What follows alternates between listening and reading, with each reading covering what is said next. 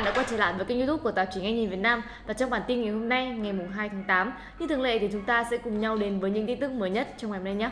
Các bạn mến, theo một leak đáng tin cậy thì Huawei Mate 30 sẽ có hệ thống camera sau gồm 3 cảm biến là 40, 40 và 8 megapixel. Đây thực sự là một trang bị đáng mơ ước bởi chưa từng có một thiết bị nào lại sở hữu tới tận hai cảm biến với độ phân giải lớn như thế. Cảm biến 40 megapixel có kích thước là 1 trên 1,5 inch với khẩu độ thay đổi từ f1.6 đến 1.4 sử dụng cảm biến màu RGB thay màu xanh lá bằng màu vàng giúp cho hình ảnh trở nên tươi sáng và giống với B30 Pro. Đặc biệt là ống kính Cine Lens chuyên sử dụng cho mục đích quay phim hứa hẹn là sẽ mang đến cái khả năng quay video thật tuyệt vời. Và camera thứ hai cũng có độ phân giải là 40 megapixel, sử dụng một cảm biến góc siêu rộng là 120 độ. Kích thước cảm biến là 1 trên 1.7 inch và cũng sử dụng Cine Lens. Camera thứ ba là camera 8 megapixel sử dụng kính tele 5x và Cine Lens cũng vừa được Huawei nộp bằng sáng chế 2 tuần trước nên thông tin này là hoàn toàn hợp lý. Ngoài ra thì những ảnh dò gì gần đây cho thấy là Mate 30 Pro sẽ có tai thỏ rộng hơn, được cho là trang bị nhận diện khuôn mặt 3D và TOF. Dự kiến là máy sẽ có màn hình AMOLED cong với kích thước là 6,71 inch kết hợp với cảm biến vân tay dưới màn hình, chạy chip Kirin 985 cùng modem Balong 5000 5G cho công nghệ 5G tốc độ cao trong tương lai. Và Mate 30 Pro được suy đoán là sẽ có dung lượng pin rơi vào 4200 mAh, hỗ trợ sạc nhanh 55W và sạc ngược không dây 10W. Các bạn mến, sau khi các nhà mạng tại Mỹ công bố các phần quà khi đặt trước bộ đôi Galaxy Note 10 thì các hệ thống bán lẻ lớn tại Việt Nam cũng đã bắt đầu đưa ra các chương trình cũng như là chính sách quà tặng cho người dùng khi đặt trước thiết bị này. Các phần tặng kèm khác nhau sẽ tùy thuộc vào từng hệ thống. Nếu như bạn đặt trước tại FPT Shop thì bạn sẽ được một phần quà đó là một loa Harman-Kardon Onyx Studio 6 chưa được ra mắt và sạc dự phòng không dây chính hãng của Samsung 10.000 mAh. Ngoài ra thì khách hàng còn được nhận chương trình trả góp 0% trong vòng 12 tháng. Hệ thống bán lẻ lớn nhất Việt Nam hiện nay là Thế giới di động cũng đã đưa ra bộ quà bao gồm đồng hồ Galaxy Fit đi kèm với sạc dự phòng không dây 10 mAh, adapter và bao da Clearview. Ngoài ra thì khách hàng còn có cơ hội nhận được 200 suất học bổng trị giá 10 triệu đồng và tham dự chương trình trả góp 0%.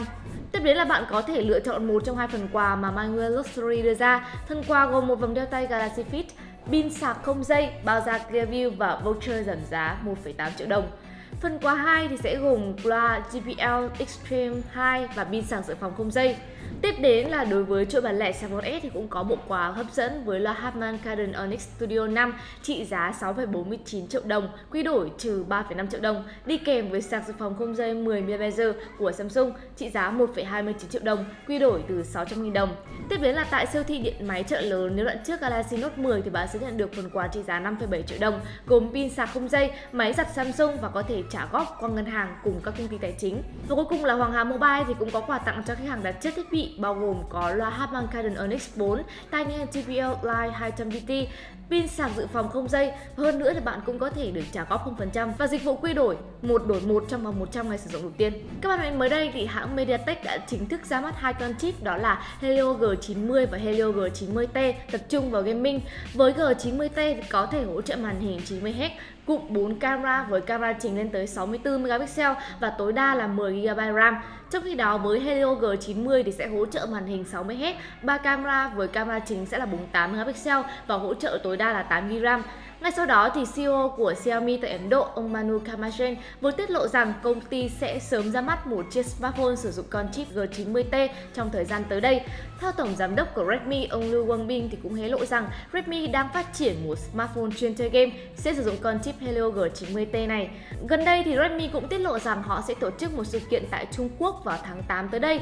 Bên cạnh việc ra mắt hai mẫu TV với kích thước màn hình là 40 và 70 inch, nhiều người còn cho rằng Redmi sẽ trình làng cả mẫu smartphone với camera 64 megapixel đầu tiên trên thế giới. Tên gọi của smartphone này có thể sẽ là Redmi 7 Pro. Với việc con chip Helio G90T hỗ trợ 4 camera sau và camera chính lên tới 64 megapixel, nhiều khả năng thì hai mẫu smartphone này sẽ là một. Theo kết quả trên trang Benchmark Antutu và Geekbench thì Helio G90 có điểm số cao hơn so với con chip chuyên chơi game đến từ Qualcomm là Snapdragon 730. Vì vậy mà hoàn toàn có thể hy vọng rằng ngày càng nhiều smartphone dành cho chơi game sẽ ra đời để có giá siêu rẻ.